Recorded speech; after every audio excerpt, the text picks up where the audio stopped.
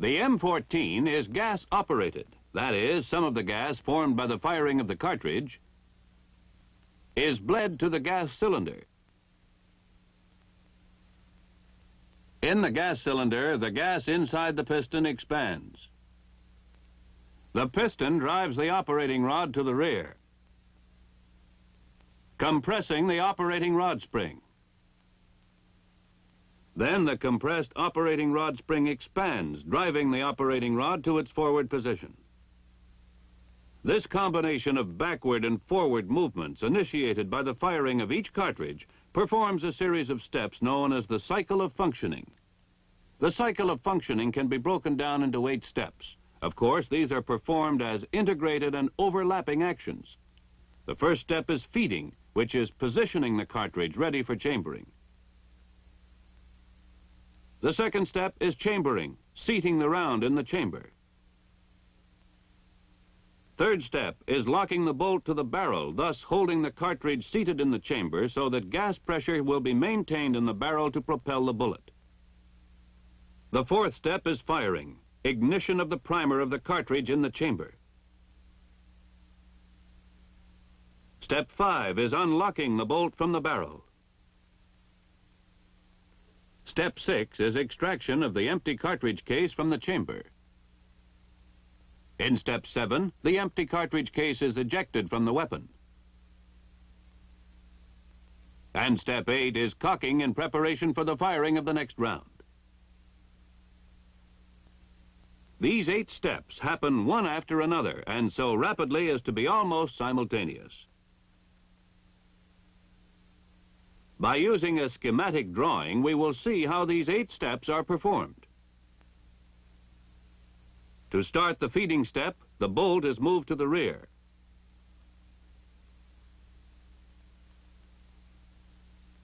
A cartridge from the magazine is fed into position for chambering by the spring-loaded follower in the bottom of the magazine. On the forward movement of the bolt, the hammer is cocked and a cartridge is stripped from the magazine. The cartridge is chambered. The bolt is locked. The rifle is now cocked and ready to be fired when the safety is off. By pressing the trigger, the hammer is released, firing the cartridge.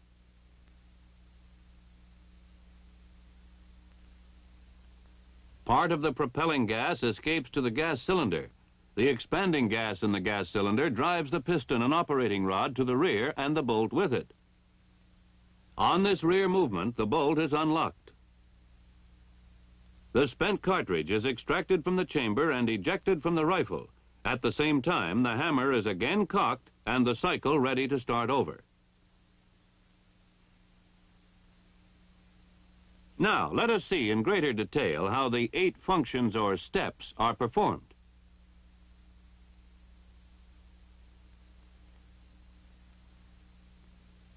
When we move the bolt to the rear, by hand initially, the bolt clears the top cartridge in the magazine. The magazine spring exerting pressure against the follower forces the top cartridge up in front of the bolt in position for chambering. Let us look at it again.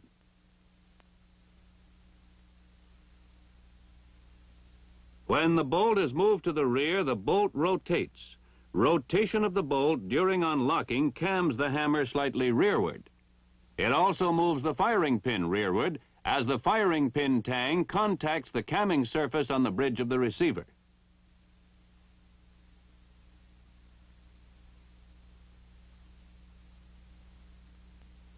As the bolt continues to the rear, the rear of the feed rib on the bottom of the bolt forces the hammer to the rear and down, pivoting the hammer on the hammer pin.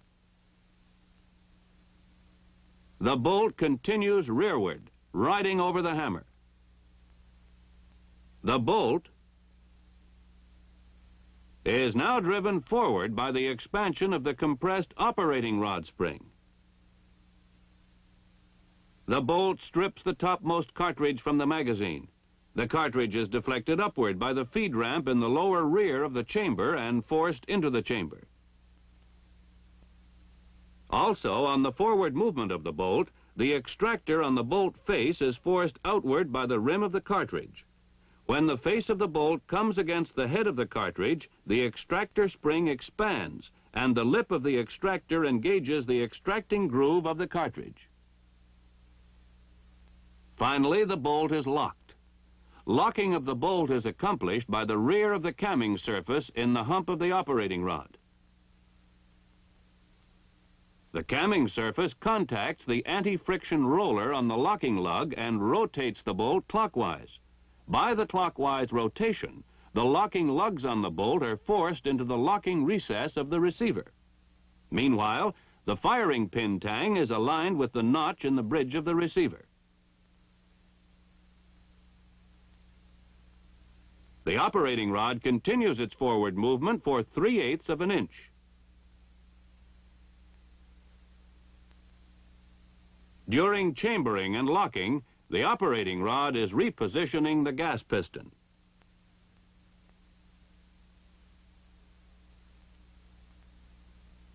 With the first round chambered and locked, the next step is firing. Firing, of course, is initiated in the firing mechanism assembly. The firing mechanism assembly consists of the hammer. The hammer spring, which drives the hammer and which is compressed when the hammer is cocked. The hammer hooks, which are held by the trigger lugs.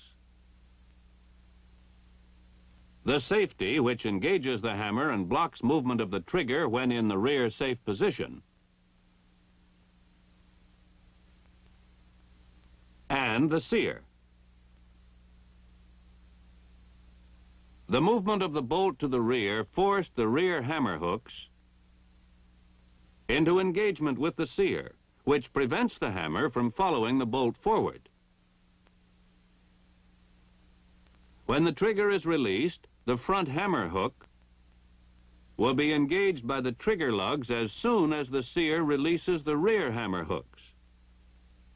When the trigger is squeezed, the trigger lugs release the hammer hooks so that the hammer spring can drive the hammer forward. The hammer strikes the tang of the firing pin and moves it forward. The firing pin strikes the primer on the base of the cartridge, igniting the powder. When the cartridge is fired in the chamber, gas pressures build up. And a gas pressure of 50,000 pounds per square inch is exerted in every direction. It cannot escape to the rear because the locked bolt holds the case in the chamber, and the brass case is expanded against the chamber walls, effectively sealing the chamber. The gas can only escape by propelling the bullet out through the muzzle of the rifle.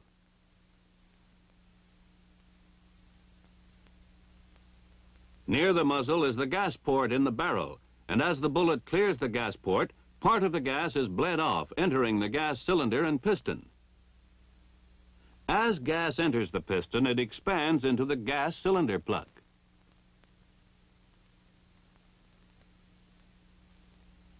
Continued expansion of gas builds up a pressure which forces the gas piston to the rear. The initial rearward movement of the piston shuts off the barrel gas port. The pressure exerted against the piston drives it to the rear one and one half inches.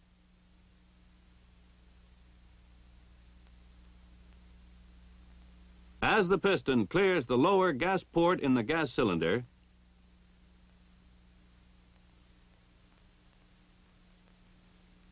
The gas pressure instantly vents to the open air, removing all driving force from the piston.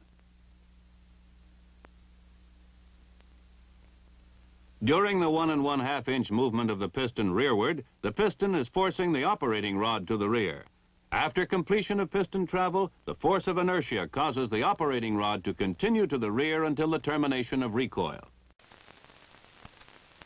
Recoil ends when the shoulder of the operating rod contacts the front end of the receiver.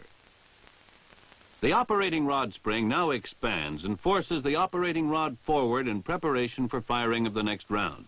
In the forward movement, the front end of the operating rod repositions the gas piston, which comes to rest against the gas cylinder plug. To see how unlocking was accomplished, we will repeat the action. When the operating rod moved rearward, it accomplished several things, the first of which was the unlocking of the bolt. Before the bolt starts to unlock, the operating rod permits 3 eighths of an inch of free travel to the rear. This is a safety factor, permitting the bullet to leave the muzzle and gas pressure to subside before unlocking begins. This prevents gas from blowing back into the rifleman's face when the bolt unlocks. At the completion of free travel, the front of the camming surface in the hump of the operating rod comes in contact with the anti-friction roller on the right locking lug.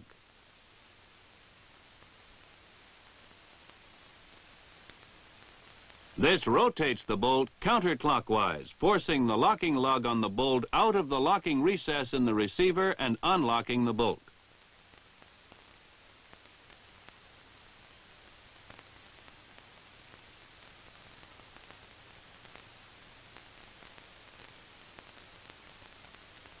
While the bolt is being unlocked, slow initial extraction takes place. The rim of the cartridge case is gripped firmly by the extractor. A slow twisting pull called slow initial extraction is imparted by the rotating bolt.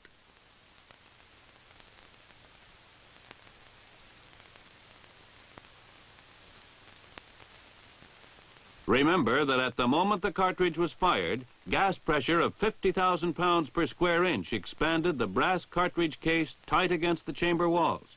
It also forced the head of the cartridge case against the face of the bolt.